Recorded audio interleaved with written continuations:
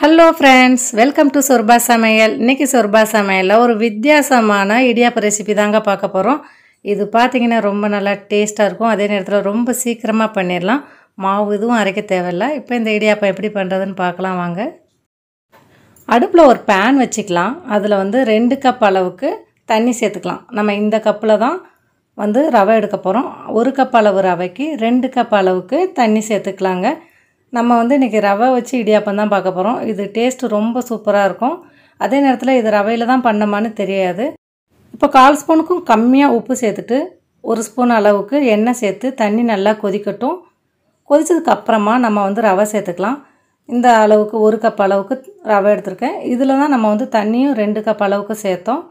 இப்போ ரவை வந்து கட்டி எதுவும் இல்லாமல் நல்லா வந்து கிளறி விட்டுலாம் அடுப்பை வந்து ஒரு மீடியம் ஃப்ளேம்லேயே வச்சுக்கலாம். பாருங்கள் இந்த மாதிரி நல்லா தண்ணியெல்லாம் இழுத்து நம்மளுக்கு ரவை நல்லா இந்த மாதிரி சுருண்டு பந்து போல் வரும். சட்டியில் ஒட்டாமல் வரும்.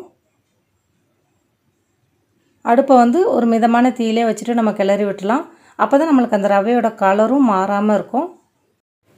இந்த அளவுக்கு ரவை வந்து நல்லா பந்து போல் சுருண்டு வந்ததுக்கப்புறமா ஸ்டவ்வை ஆஃப் பண்ணிடலாம். ஆஃப் பண்ணிவிட்டு இதை வந்து ஒரு மூடி போட்டு மூடி வச்சிடலாம்.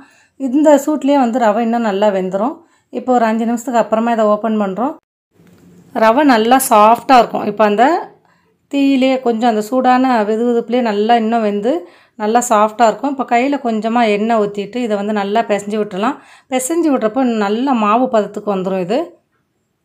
கொஞ்சம் அமுத்தி பிசைஞ்சு விடுங்க. கொஞ்சம் லேசான சூடு இருக்கிறப்பவே இதை பிசைஞ்சு விட்டால் தான் நல்லா ஒன்று போல் நம்மளுக்கு கிடைக்கும். இப்போ பாருங்கள் இந்த அளவுக்கு பிசைஞ்சு விட்டதுக்கப்புறமா இது மாதிரி ஒரு இட்லி தட்டு எடுத்துகிட்டு கொஞ்சம் எண்ணெய் வந்து தேய்ச்சிக்கலாம் அதில்.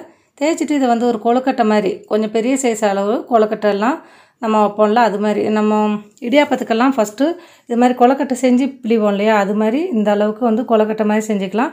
இன்றைக்கி ஒரு கப் அளவில் பார்த்தீங்கன்னா எனக்கு நாலு கொழுக்கட்டை அளவுக்கு வந்துச்சு.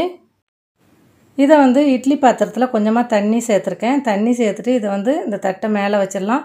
நம்ம இடியாப்பம்லாம் எப்படி வேக வைப்போமோ அது மாதிரி இதை வேக வச்சு எடுத்துக்கலாம்.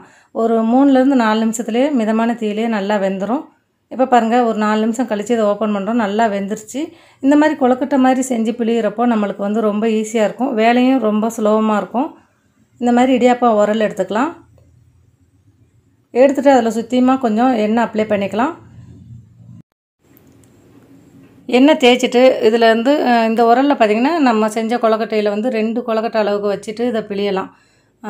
வேலையும் ரொம்ப ஈஸியாக இருக்கும். அதே நேரத்தில் இந்த அளவில் பார்த்திங்கன்னா ஒரு ரெண்டு பேர் சாப்பிட்லாம் தாராளமாக பிழியறதும் பார்த்திங்கன்னா ரொம்ப ஈஸியாக வந்துடுச்சு பிழியறப்போ ரொம்ப கஷ்டம் எதுவுமே இல்லை ரொம்ப ஈஸியாக இருக்குது அதே நேரத்தில் ஒன்றோட ஒன்று ஒட்டாமல் ரொம்ப நேரம் ஆனாலும் காஞ்சி போகாமல் இருக்குது இப்போ நம்ம பிழியிறோம் பாருங்கள் பிழியிறப்போ ரொம்ப ஈஸியாக விழுந்துருச்சு இது. நம்ம அரிசி மாவில் கூட கொஞ்சம் கஷ்டமாக இருக்கிற மாதிரி இருக்கும். ஆனால் இந்த இதில் பார்த்திங்கன்னா ரொம்ப ஈஸியாக இருக்குது அதே நேரத்தில் ரவை உப்புமா இது மாதிரி பிடிக்காதவங்க கூட இந்த மாதிரி இடியாப்பம் செஞ்சு கொடுத்தோன்னா அந்த லேயர் பார்த்தாலே உங்களுக்கு தெரியும். அந்த கடையிலலாம் நம்ம இடியாப்பம் வாங்குறப்போ எப்படி இருக்கும்? அது மாதிரி இருக்கும். அந்த லேயர் ஒன்று ஒன்று எடுக்கிறப்போவுமே ஒன்று ஒன்று ஒட்டாமல் சூப்பராக வந்தது. இது நார்மலாக நம்ம இடியாப்பத்துக்கு சர்க்கரை தேங்காய்லாம் வச்சு சாப்பிடுவோம்ல. இல்லை தேங்காய் பால் வச்சு சாப்பிட்லாம்.